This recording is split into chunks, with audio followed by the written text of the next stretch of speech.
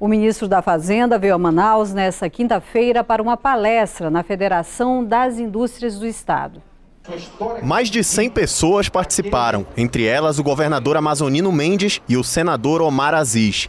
Quem deu início à palestra foi o presidente da FIEAN, Antônio Silva. Ele falou sobre a importância da Zona Franca para o Brasil. Para além da própria Zona Franca, agregando valor e gerando recursos para aquela população a partir da produção da cana-de-açúcar e do Guaraná. Em seguida, Henrique Meirelles falou sobre os planos econômicos para o Amazonas. O ministro apresentou também um gráfico comparativo e mostrou que durante a crise, a economia do Amazonas enfraqueceu bem mais do que a economia brasileira. Os impostos que são captados aqui estão transferidos para Brasília.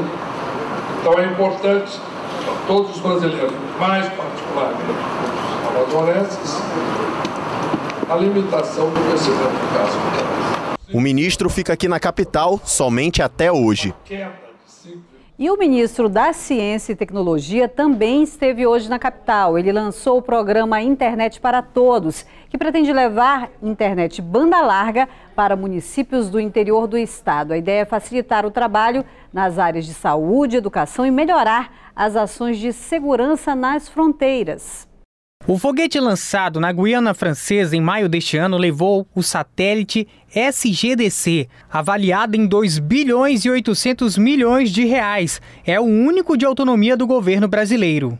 Hoje, o ministro Kassab veio a Manaus fazer o lançamento do programa que vai levar a internet para o país. Nós temos uma independência, uma autonomia em relação à sua operação que nós não temos em relação aos outros satélites que operam no território brasileiro. É algo é, notável, uma diferenciação muito importante que nos dá a segurança de fazer investimentos para operar esse satélite que possam trazer benefícios muito grandes para o povo brasileiro. O satélite vai emitir sinal para uma antena VSAT, depois para o modem e, em seguida, as transmissoras de banda larga e telefonia. E por último, até chegar às casas. A Internet para Todos quer tirar do isolamento as comunidades mais distantes dos grandes centros, como muitas aqui no Amazonas. A ideia também é melhorar o acesso a direitos básicos previstos pela Constituição Federal, como educação, saúde e segurança. 30% da banda vai atender a segurança nas fronteiras, 10% a educação e mais 10 à saúde. Os prefeitos interessados vão ter que preparar o município para o recebimento da antena. As prefeituras, identificado esse ponto que não tem conectividade, elas precisam encontrar um terreno onde elas vão assumir o compromisso de fazer a segurança desse terreno, elas vão pagar a energia que essa antena vai consumir.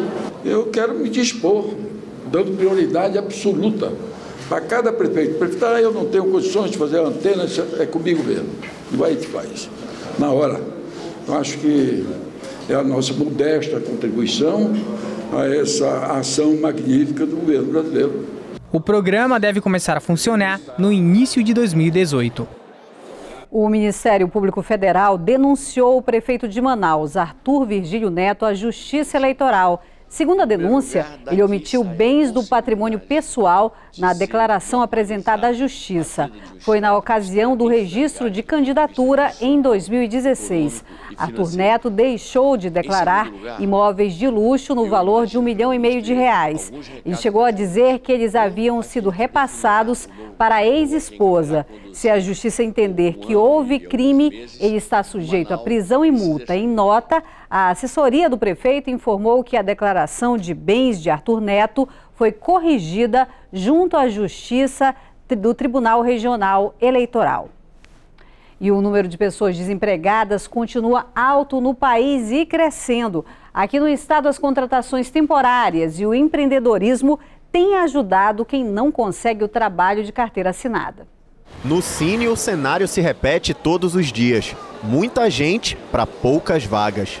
No, no portal tem 80 e aqui só tem três vagas, todo dia.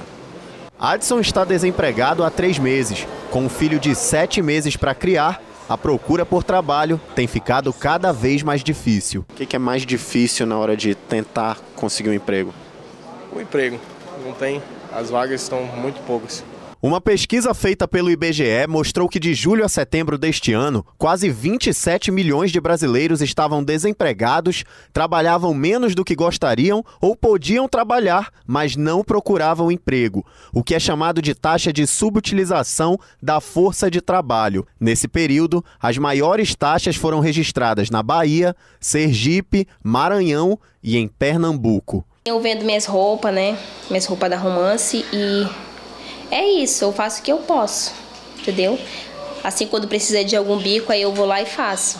Luciene ficou desempregada por mais de três anos até começar a trabalhar por conta própria. E mesmo com vários cursos, como informática e elétrica, não conseguiu emprego. A busca tá difícil, porque eles exigem experiência. Na carteira eu não tenho, entendeu? Mas eu já trabalhei assim avulso de eventos, entendeu? Só que aí, experiência na carteira não tem. Só que aí, como que a gente vai ter experiência que eles não dão oportunidade. E é justamente essa falta de oportunidade que tem deixado a procura por trabalho tão complicada aqui no Amazonas. Mas com as festas de fim de ano se aproximando, quem procura um emprego pode ter uma oportunidade. Segundo a Secretaria Estadual do Trabalho, o setor do comércio deve gerar cerca de 2.500 empregos temporários entre o mês de novembro e dezembro. Aqui nesta loja de variedades na zona centro-sul da capital, seis novos funcionários funcionários já foram contratados. Dependendo do, da correspondência da, do, da economia brasileira, né, vem aí as contratações efetivas. Claro que nós vamos selecionar a questão dos perfis para se adequarem na empresa. Este repositor é um dos funcionários recém-contratados. Ele nunca tinha trabalhado. Sendo maravilhoso, na moral, que tipo, assim, tá muito legal, tô fazendo tudo certinho, então tô dentro da lei. Agora o objetivo dele é se destacar e, quem sabe, fazer parte do quadro de funcionários efetivos da loja. Em instantes, Juizado da Infância e Juventude alerta para fraudes em campanhas de fim de ano e a preparação para o espetáculo Um Sonho de Natal da nova Igreja Batista.